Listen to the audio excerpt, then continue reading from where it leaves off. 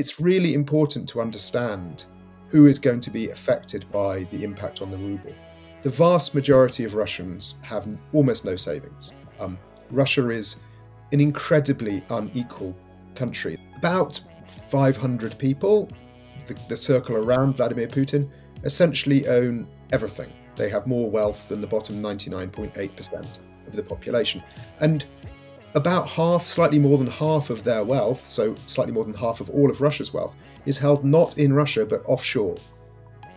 I'm delighted to be joined by Oliver Bullough, the best selling author of Moneyland and Butler to the World How Britain Became the Servant of Tycoons, Tax Dodgers, Kleptocrats, and Criminals, um, which will be out in March. Oliver, you're also an investigative journalist and you've written extensively about the former Soviet Union um, and as we'll be talking about about illicit money um, in the UK and elsewhere. So, kind of the the perfect person to speak to for this political moment. Can we just begin? I, I want to talk to you more about about your book and the bigger themes in it. But can we begin um, this morning? We're recording on Monday morning. Um, the ruble has lost more than thirty percent of its value against the dollar, which is a record low. Um, and we're seeing the impact of the sanctions imposed by the UK and the US and the EU starting to take effect. From what I gather, you've been quite critical about the extent of these sanctions and whether they will actually do much good um, in curtailing Russian influence. What do you make of, of the latest developments? Is this sort of is this enough? Well, what we've seen so far has been extraordinary. Um, if you look at what has happened in the last week in terms of sanctions already, I mean, as you say, I am a bit critical of them, and, and I'll get to that. But what we've seen in the in the last week has essentially undone all of the signature achievements of Putin's time in power. You know, I first moved to Russia in 1999. People used dollars because the ruble was so weak. You know, there were no big foreign investors in Russia because no one trusted the Russian law enforcement uh, system, and so on. Uh, all of these gradual making the ruble, a, as it were, a proper currency, a reliable currency, bringing in investors like BP and so on. All of that has just gone in a week. Mm. Russia has been turned into a pariah in ways that are astonishing, and the impact on the ruble is devastating. But it's really important to understand who is going to be affected by the impact on the ruble. The vast majority of Russians have almost no savings. Um, Russia is an incredibly unequal country. There's a sort of, I don't know, I think a misapprehension that Russia's still sort of the Soviet Union and that, you know, people are still relatively equal. That is so far from the case. It, it Russia makes, you know, America look like Denmark. About 500 people, the, the circle around Vladimir Putin, essentially own everything. They have more wealth than the bottom 99.8% of the population. And about half, slightly more than half of their wealth, so slightly more than half of all of Russia's wealth, is held not in Russia but offshore. It is held in places like London, the south of France, places where they own big yachts, uh, big houses, fine art, you know, football teams, all the things that we know that Russian oligarchs like to own. So, though the sanctions are important in harming the Russian economy, in fact, mm. you know, the Russian oligarchs, their assets are held in dollars or in pounds or in euros. So they're not worried about what's happening to the ruble. In fact, after this crisis is over, they'll be able to go back home and buy all the things that they haven't been able to buy so far. So what I would love to have to see, and I'm hopeful that we still will see, is sanctions against the particular people around Putin who've become incredibly rich during his time in power and against their mm. family members whose names are often used as a sort of living shell company to hide their assets behind. That, I think, would be the kind of thing that would really change the Russian elite's calculations. If we can go after their yachts and their mansions, their fine art, their children in private schools, and so on, then that would really start to shake the calculation on which the entire Kremlin regime has been based. It's just it's fascinating and, and, and so your, your book is perfectly timed. I, I, bet your publishers are delighted. You've been you've done this analysis butler to the world. It's this really compelling analysis of um, the role that Britain has has played basically since the 1950s, given how bedded in Russian money is to the UK and the position that Britain has assumed in this global system, won't this necessitate a, just a, a complete U-turn in terms of the UK's relationship to Russian money? And, and do you think it's likely that, that a U-turn like that would take place? You're absolutely right. I mean, the, the story I tell in the book is basically the story of how Britain went from being an empire, you know, as it were, the biggest bully on the block, right? Britain was the richest, the most powerful country in the world at one point, to being what we are now, which is the place where oligarchs come to launder their money, to hide their wealth.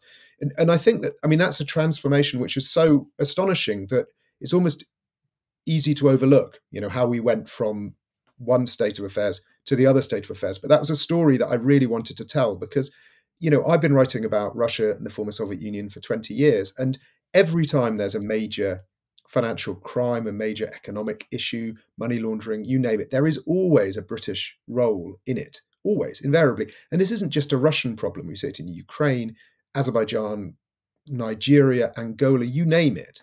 There is always a British role. So, how did that happen?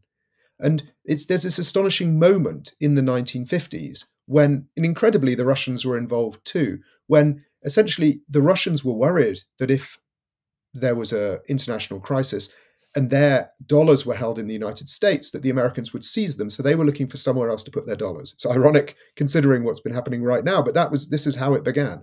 And those dollars were looking for a home, and they brought them to London and, and banked them in London, where they found a willing co-conspirator, if you will, that wasn't really illegal what they were doing, um, in the, the, the Midland Bank, um, the now defunct bank, but what used to be a, a British high street bank, who needed currency because they were short on currency reserves. So essentially, the Russians said, "We have this money, we need to keep it somewhere," and the Midland Bank said, "Oh, thanks very much, we need money to keep."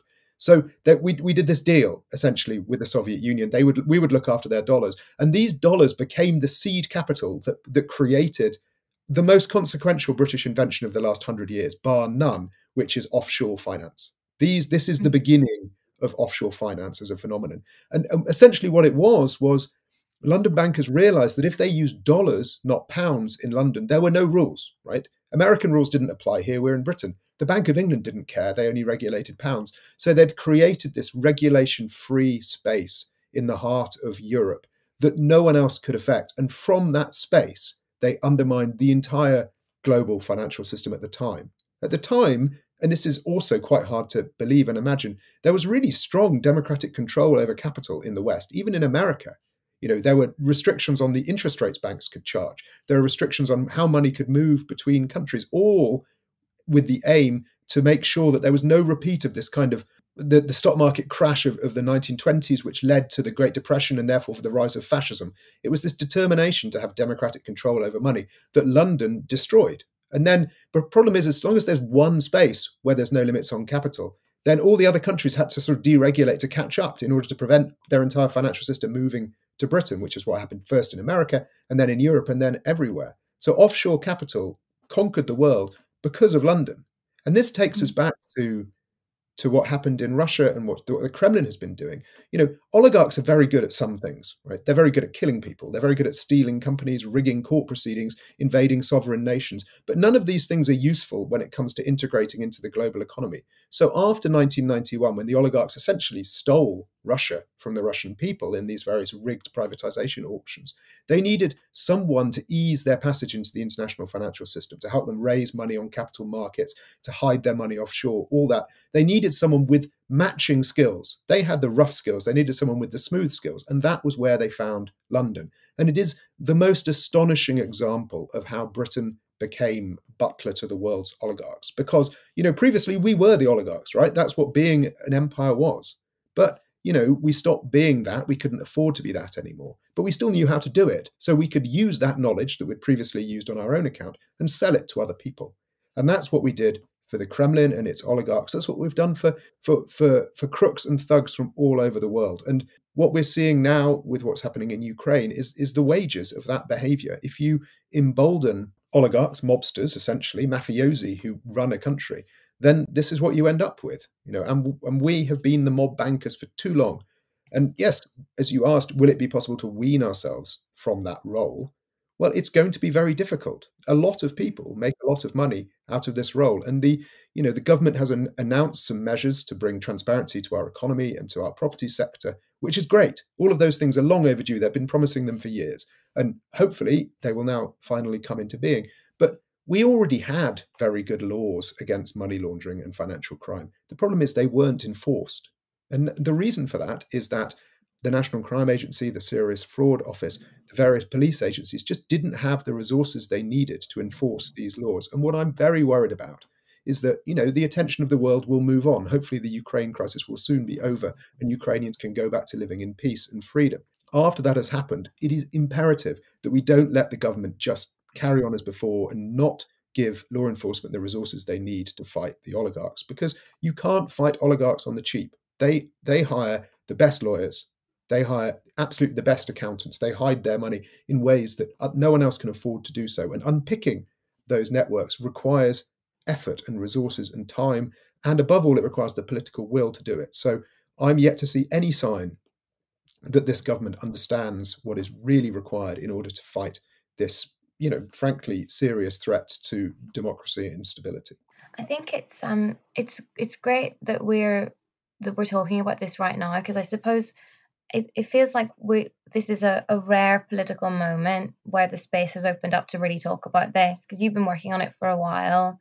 But i think as you kind of alluded to there there hasn't been as much interest. And then suddenly with the crisis in ukraine we we're taking stock of britain's relationship to russian money and its relationship to oligarchs. I'm just wondering if you could sort of go in uh, in a bit more detail tell us a bit more about the lay of the land currently.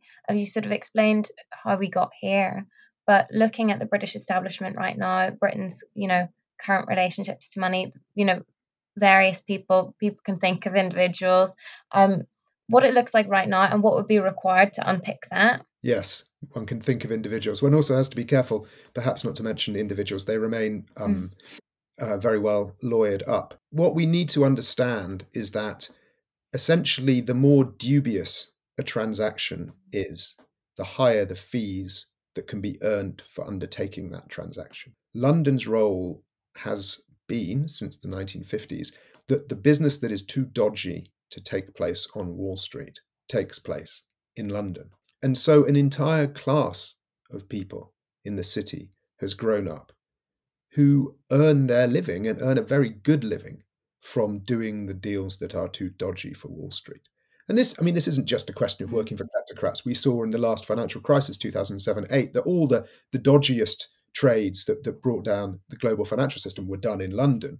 You know, we see it with big money laundering scandals out of out of Russia or out of wherever, out of you know Mexico with the with the drug cartels. Again, run out of London. So you know, what does it really look like? What it looks like is a, is a political class that is totally wedded with our financial elite, the elite of, of the City of London and the elite of, you know, Mayfair, where the hedge funds are. They're the same people. You know, I mean, if you look at the people who, who, who make up the government, you don't need to go far beyond the very first ranking members of the government to see the people who have made their living and made their career in that business. And anyone who works in a particular business can persuade themselves that what they're doing is not harmful. Because if you are essentially reliant financially on a particular trade, you're always going to find a way to justify it to yourself. For the record, this is not an anti Tory thing. This is something that was a big problem under the previous government as well. Tony Blair was just as willing to, to, to embrace Vladimir Putin as David Cameron was and, and so on. What we really need is, is, a, is far more pressure from outside to represent the viewpoints of ordinary Ukrainians or ordinary Russians who don't get a vote in this country. Because the issue is that all of the benefit to the butler business accrues at the top right? It's either accrues to the oligarchs or it accrues to their enablers, to us, to the butlers. And all the victims, the harm that this causes, it's all elsewhere. It's in Ukraine or elsewhere in Eastern Europe or, or in or in, in Nigeria or Angola, Egypt, Malaysia. It's wherever. It's not here. And so what we really need is for people in this country to to understand the harm that this policy is causing around the world and to make sure that that harm and the victims are, are, are represented, their voices are heard in this country because you know, as it stands, for, for the for the longest time, it has been very easy for governments to essentially prioritize the fees earned in the City of London over the harm that the City of London's activities cause elsewhere. And you, I mean, you, your focus has been on on the city um, there, but I suppose it, it has a knock on effect into other things. I mean, there's a fascinating bit in your book about the impact that it has on the legal profession, that actually barristers in London can earn such high fees from representing oligarchs, for example, that they're disincentivized from taking on less well paid roles as judges. And, and that has a sort of damaging knock on effect on the legal system. It's right. It, it's an it's a remarkable um, example of the corrupting and distorting effect of these huge quantities of money. You know, there are now common law tribunals operating with British judges and lawyers in in the UAE. Uh, there's another one in in Kazakhstan. Um, there's a suggestion that one could be created in Uzbekistan. And these are places that are essentially like a little island of British law, English law particularly, in an autocracy where if you are wealthy enough to bring a, dis- a, debut, a, dispute, you can take it there and have your case resolved by uncorruptible British lawyers and British judges, and that's all going to be fine. And then you can go back out to the autocracy and impose your will using the local courts.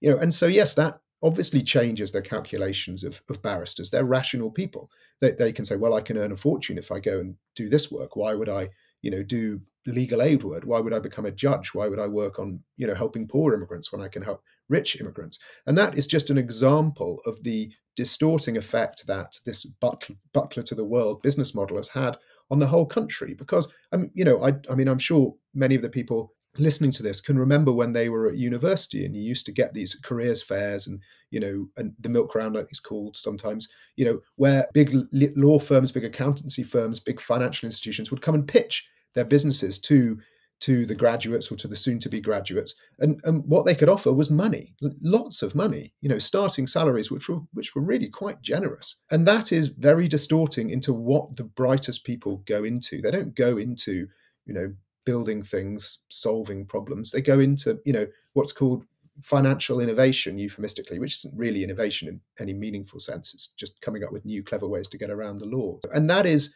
distorts the entire business model of the whole country. And that's why I think this Butler business model has been so harmful in a way, because all the things that these incredibly bright people could be doing, they're not doing. Instead, they're just moving money around for other rich people. How significant do you think that the the role of soft power plays in in this. So not just the financial role of the city of london but the sort of the wider place of the uk in sanitizing the reputations of particular people. I think you know you mentioned educating oligarchs children at some of you know the britain's elite schools things like that. Beyond the the narrow financial stuff um how significant is the wider role that the uk plays um on the softer side? That that's a really important point and one that doesn't get nearly enough attention. You know, Britain's reputation around the world, you know, as the country of Harry Potter and uh, James Bond, it's a place with this s- substantial reputation for cultural, you know, excellence, really, and that is part of the reason why we as a country have been so good with this Butler business model because you know we have a readily exportable international brand. One thing I, I wrote and researched this book to a large extent um, during 2020, so obviously I wasn't able to travel um, because none of us were. There were a couple of trips I managed to get in. I, I went to the British Virgin Islands and Gibraltar beforehand, which really um, were really important, informing aspects of the book. But one trip I really wanted to make was to Egypt, partly because the birth of offshore finance and the real sort of death moment of the old city of London and the birth of the new city of London was the Suez crisis, when you know the financial markets really froze up for Britain, slightly in the way that they have for Russia at the moment. Um, and the sort of dollar market was born and the pound market died. But also because, and this fascinates me,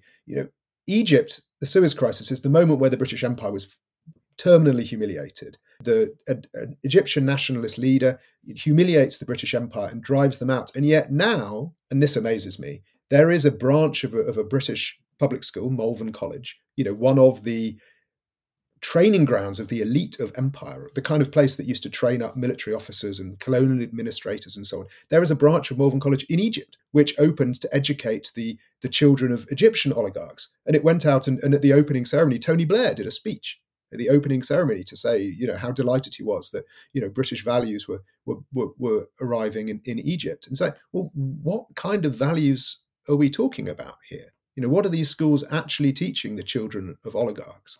And I find that absolutely fascinating. This, as you say, this this soft power, this prestige of what Britain can offer you if you're rich enough, is is spreading all around the world. I mean, there are now branches of private schools in, in Kazakhstan, uh, the branches in, in, in Bangkok, in China, a butler training institute, another extraordinary thing, the, the export trade in British butlers, um, which is an amazing thing that I never knew existed. You know, there are butler training schools all over the world so that, you know, you too can have a butler as if you were in Remains of the Day or, or, um, or, or you know, Jeeves and Wooster. It's it's a really extraordinary phenomenon how this, yeah, as you say, this sort of soft prestige of British culture and British skills has been sort of repurposed to be a, um, you know, a, a, a sort of adjunct to the to the British sort of financial offering. And it's just fascinating that the the sort of the um the the last legacy of empire this um this reputation of this sort of Hugh Grant style like manners and and and sort of bumbling politeness and the cultural cachet of some of Britain's elite institutions. That's become like one of Britain's last marketable things, and it's being used to the service of of you know some of some of the worst international practices in terms of policy. The undoing you know 70 or so years of this when it reaches so far it has you know there there are the hard financial elements of it and and the much softer things that we were talking about too where would you begin if you suddenly had a seat you know in in number 10 advising Boris Johnson and the government were serious about beginning to unravel some of this where would you begin with it i mean i i would begin with some of these policies the government has announced in the last week incredibly um, you know, transparency of ownership of offshore property, proper cleanup of our mess of a corporate registry. But then to go much, much further, we have an incredibly incoherent anti money laundering regulatory system. It, it makes no sense. We need to properly resource the fight against all these things. And as you say, this is embedded decades long embeddedness into our institutions, into our culture. It is going to take time, but Uh, as a lesson which I learned from a, a, friend of mine, someone I'm very proud to call my friend, Daria Kaleniuk, who's currently in Kiev. She is one of Ukraine's bravest anti-corruption activists, a, you know, a tireless battler for the right thing. And I once asked her how she didn't lose hope, considering how hard it was to transform Ukraine, you know, and battle back against the oligarchs. And she said, well, she doesn't ever think about, you know, getting to 100% good. She just said, well, we're at 4% now. But if I can get to 5% next year, that will be a victory. So this is mm. going to be a, a battle for, for the long haul.